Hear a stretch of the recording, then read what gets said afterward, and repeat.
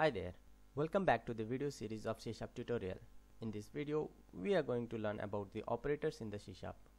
In the last video, we have learned about the typecasting in the C Sharp. If you haven't watched that video yet, the link is in the description, please go and check out. Before we start the video, I would like to request you to watch the video completely and follow along with me to have better understanding. So let's get started.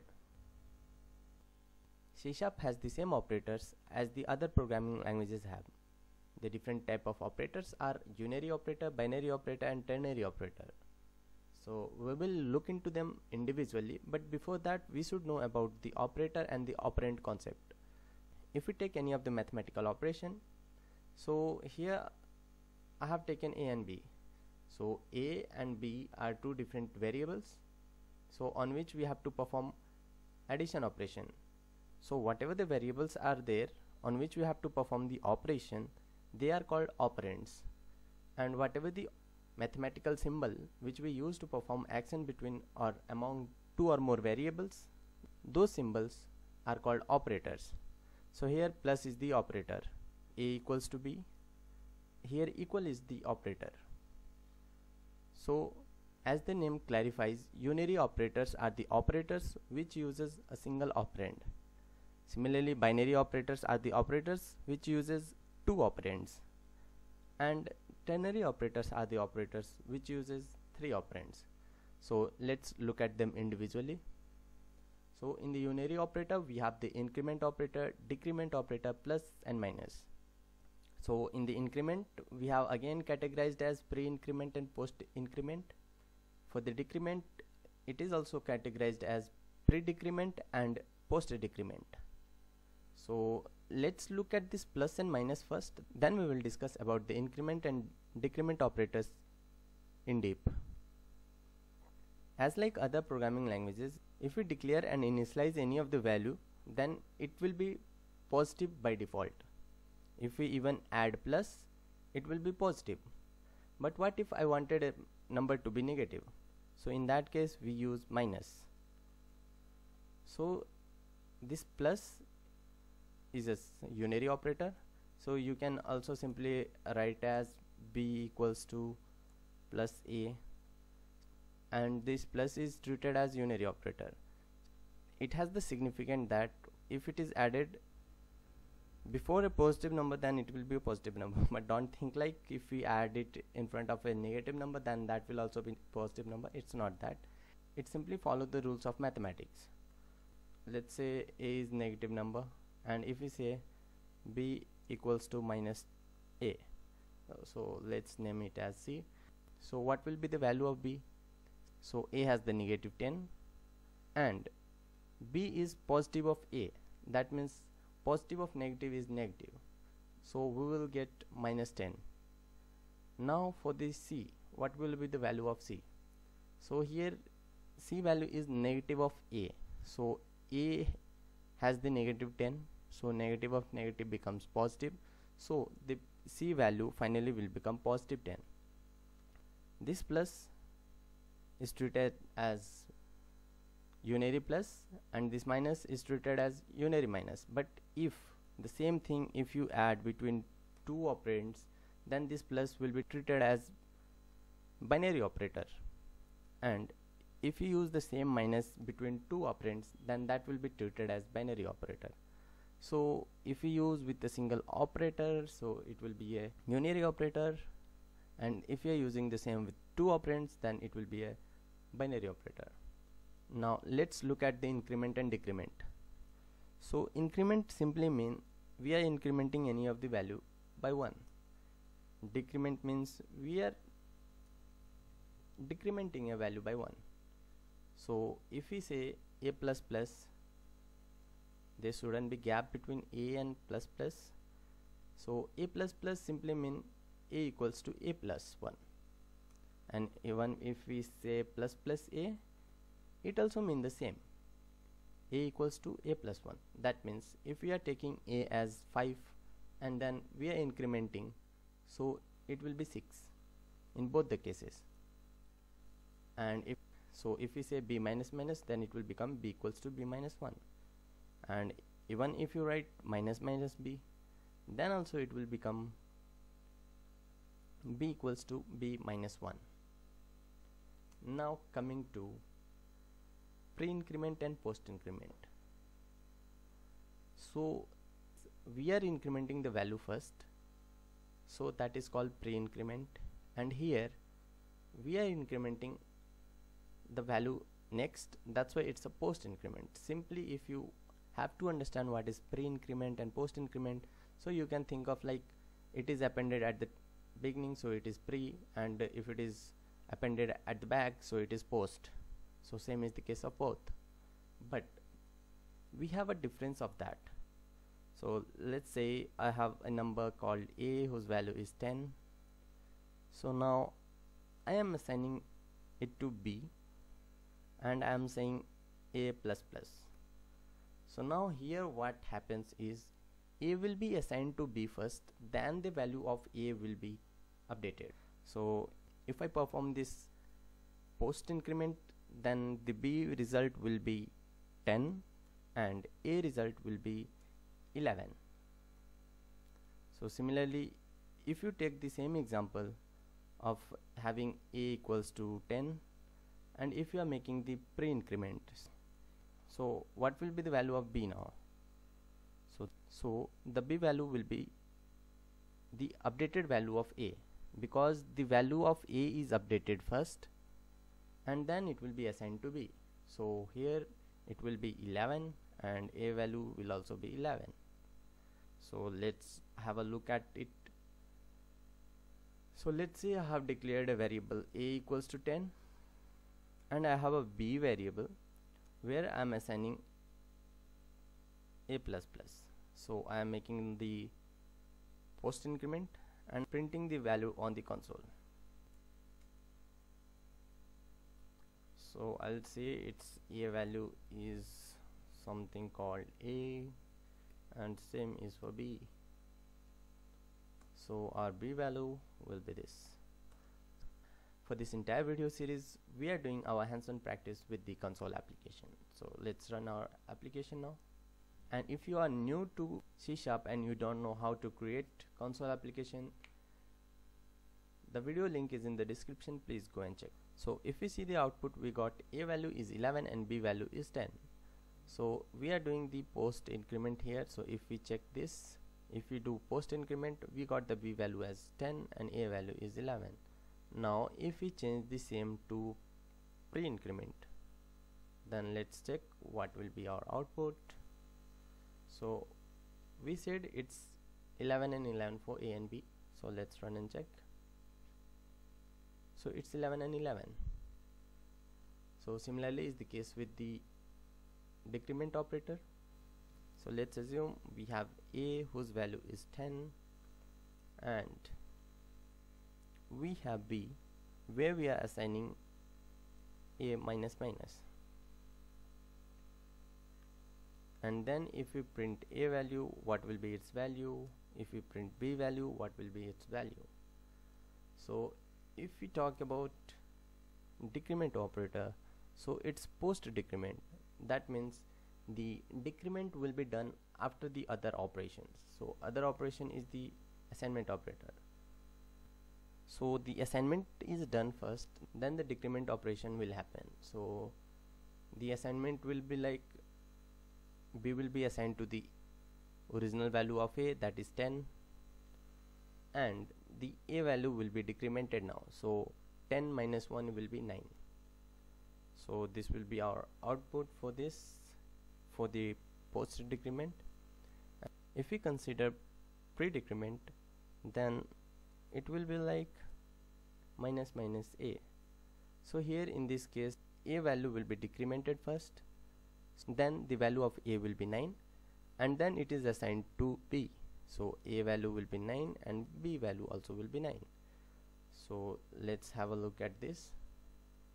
So if we are doing pre-decrement then let's run. So we got 9 and 9 so for the pre-decrement it's 9 and 9 so let's check for the post decrement now.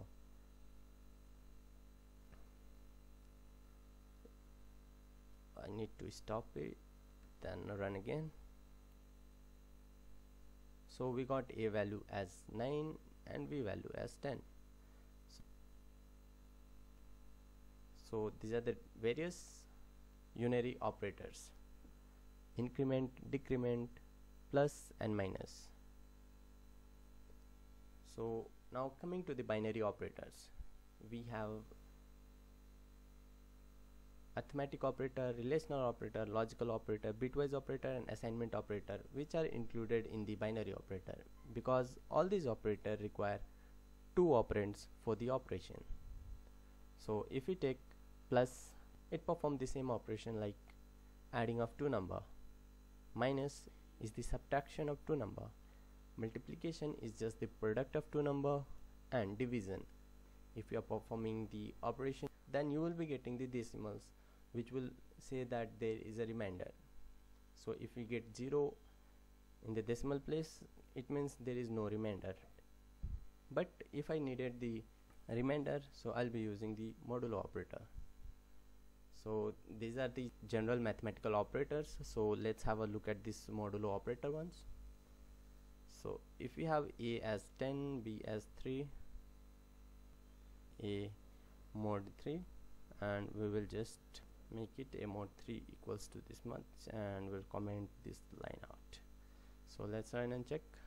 If we divide a that is 10 by 3 then we will be getting quotient as 3 and the remainder will be 1 that's what we got in the remainder. So this is the remainder. We get performing modulo operator between two operands. So coming to relational operator these are used to check the equality between two operands. So if we have to check either the two numbers are equal or not then we have to use equal to operator which is represented with double equal to and if we have to check greater than then we have to use greater than operator. For less than it's less than greater equals to less equals to not equals to. So if we have to check either the operator are same or one is greater than other one is less than other one is greater equal to other or one is less equal to other or both are not equal. So in that case we will be using the relational operators. So for this whatever the result we will be getting will be in the form of true or false. So if we use the equal to operator if both the operands are equal then we will be getting true otherwise it will be false. Similarly for greater than less than greater equal to less equal to if the condition satisfies we will be getting true otherwise we will be getting false. So let's have a look at it once. So if we say a equal to equal to b so do you think a is equal to equal to b?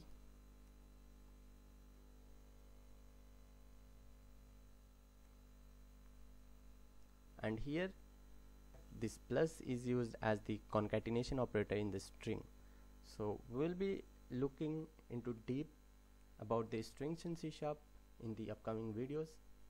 So for now just remember that if it's one string and other is any type of variable then that plus will act as the concatenation operator.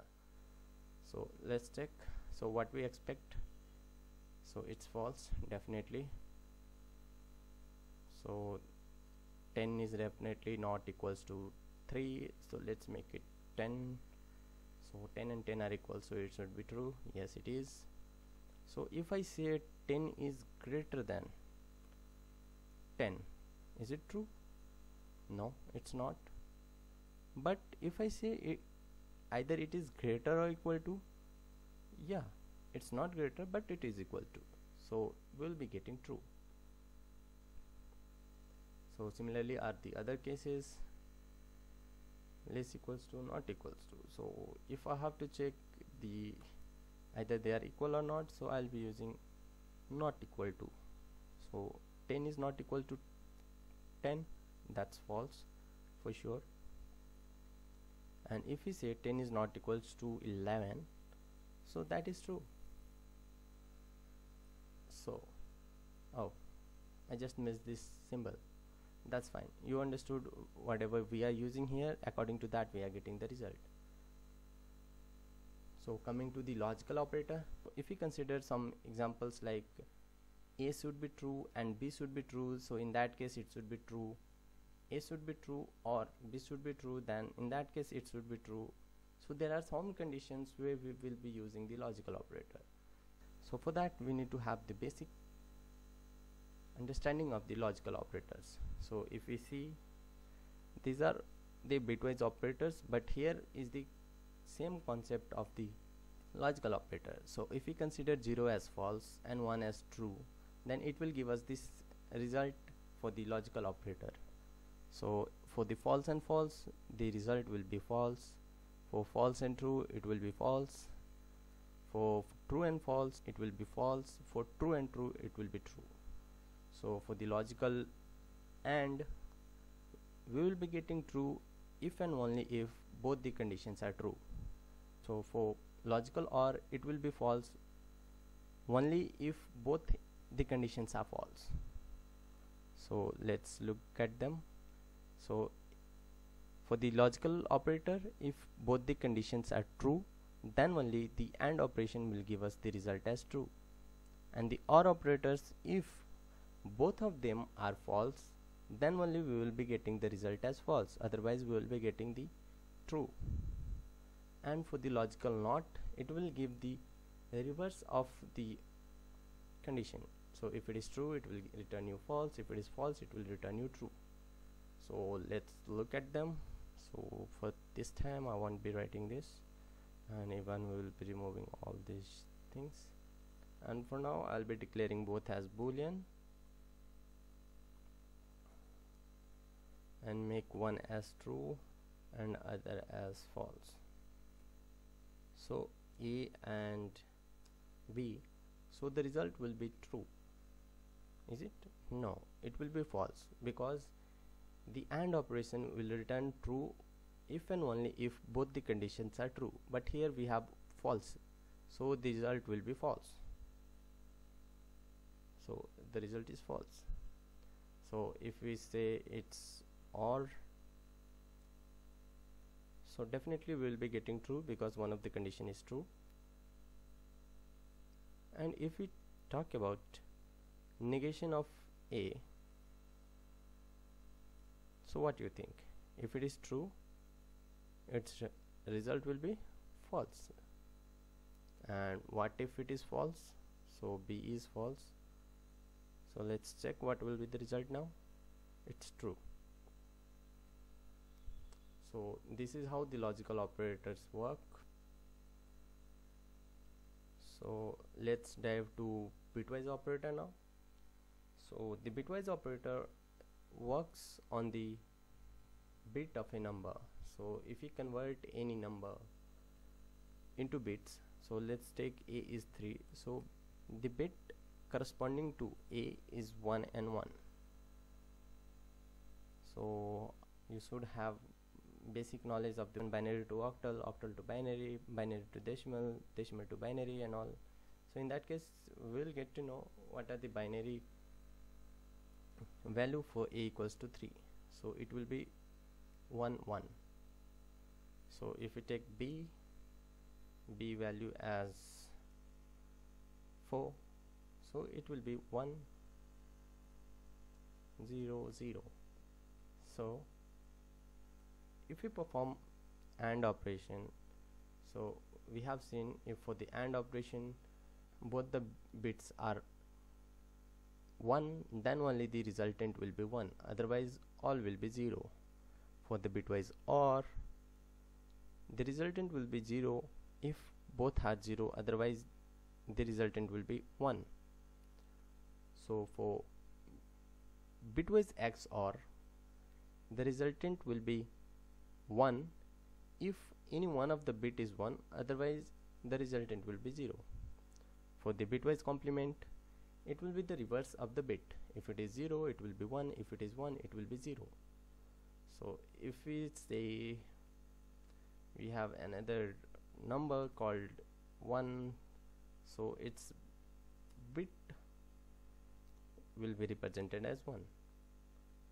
so now let's have a look at this individually. So we can see the difference uh, here for the logical operators we are using the double ampersand for the logical AND but here we are using the single ampersand for the bitwise AND for the logical OR. It's double OR for the logical OR and it's a single OR for bitwise OR. So similarly we have the bitwise exclusive OR or you can also say XOR bitwise complement. It's bitwise left shift and bitwise right shift. So let's have a look at them individually. So let's take an example of a and c. So a value is 1 1 and c value is 1 so we have to make the number of digit as same. So if we add 0 at the ones digit then its value will become 2 so we can't add there.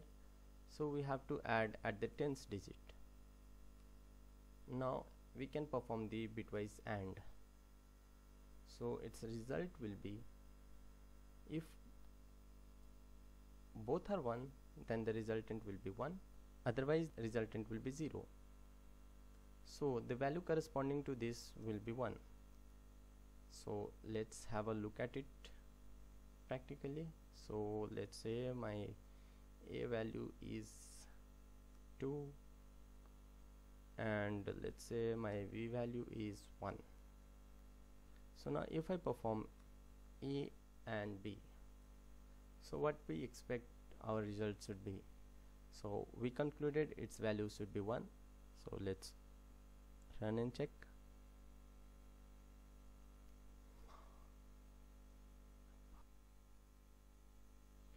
oh sorry. Uh, here it should here we calculated it for the a value as 3 and the c value is 1 so for the value of 2 and 1 the resultant is 0 and for the value of 3 and 1 the resultant will be 1 so that was my bad. Uh, I have given the wrong input. So this is how the AND operation will work so if we talk about bitwise OR bitwise XOR bitwise complement so these are same. But uh, let's come to this left shift and the right shift. So if you talk about uh, left shift so let me clear this out first. And we'll take the example of 3 so let's remove all this and now we have 3 and the corresponding binary number of 3 is 1 1 so now I have to shift.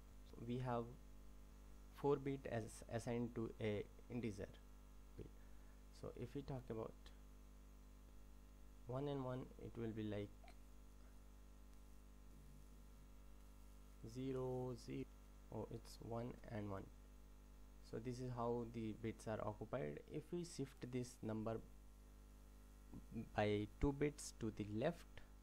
So these two will be shifted to left and this will come out of the box. And whatever the vacancy is created with the shifting will be occupied with the 0 so if we convert this number to the corresponding decimal so we will be getting 12 so how we shift the operator. We shifted it to the left side so it will be a left shift 2 so let's do the same. So if we are taking a as 3 and if we are shifting to the left by 2 so what will be the result?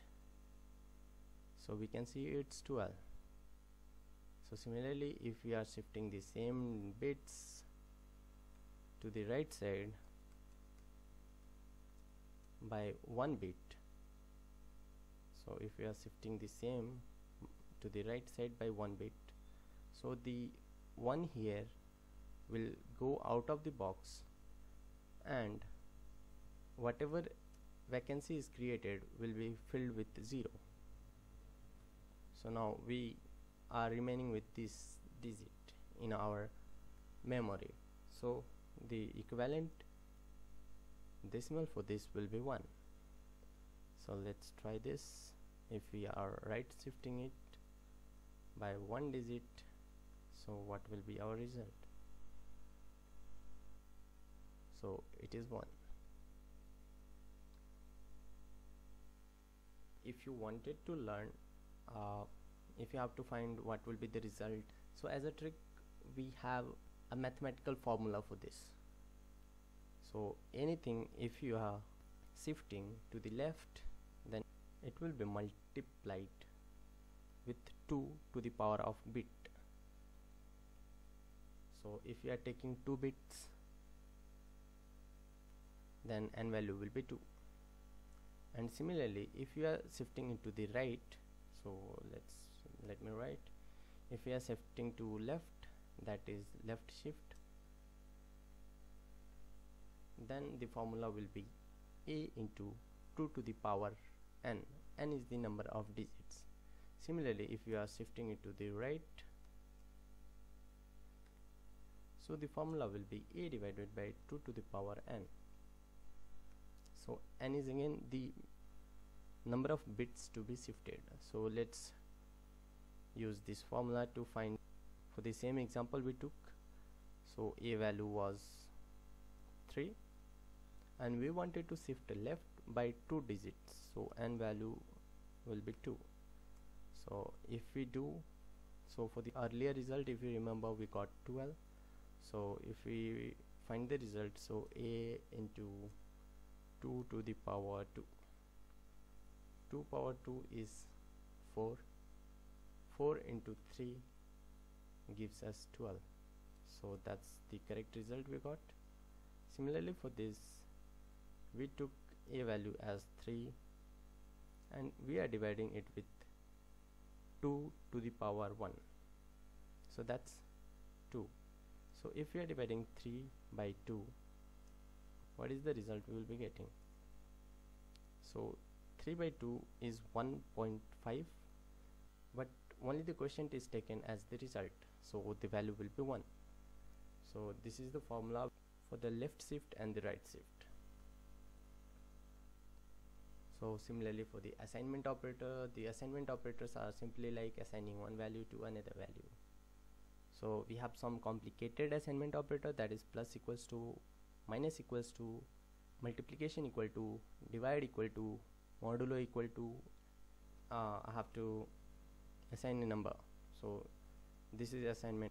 You can assign a number called this. So this is also a kind of assignment. And if you wanted to assign like a equals to a plus 1 so this is also a kind of assignment but here if both the values are same so instead of writing a two times we can simply write a plus equal to 1 so it gives the same result as a equals to a plus 1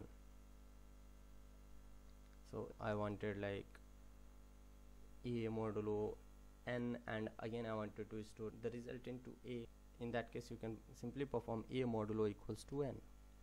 So that means a modulo n whatever the result we will be getting will be again assigned back to the a. So similarly if you wanted to perform bitwise operation so you can do a bitwise and equals to 3 so this will be equivalent as a equals to a and 3 it's a bit confusing to speak but easy to understand. Okay so we just missed to show the example of assignment operators. So we'll show you right away. So let's say uh, I have a equals to 3 and now I wanted to add 5 to it. So now what will be my resultant? So a value will definitely be 8 so let's check. So let's have a look at this ternary operator. So the operator which require three operands are ternary operator. So here you can see in the syntax we have the condition then the true statement otherwise the false statement. Let's say I have some variable called x. Now I have to assign its value according to a condition. So let's say if some number n1 is greater than n2 then if it is greater then I wanted n1 otherwise I wanted n2 it means I'm just finding the greatest of the two numbers and assigning it to x. So that's what it does. This will show that uh, the operand whatever is before question mark will be treated as the expression and it should be in the form of boolean. So you are not allowed to write this string over there if you are doing you have to make the comparison in such a way that it should return either true or false and according to that the next set of statement will be executed. If the condition here is true then the first block so also known as true block will be executed. If it is false then the next set of block that is the false block will be executed. So that's what written here so let's have a look at it practically. So let's say I have a number n1 whose value is 100 I have another number n2 whose value is 900 now I don't know which of these values are greater. So simply I will say I wanted a value which is greater. So I'll just compare.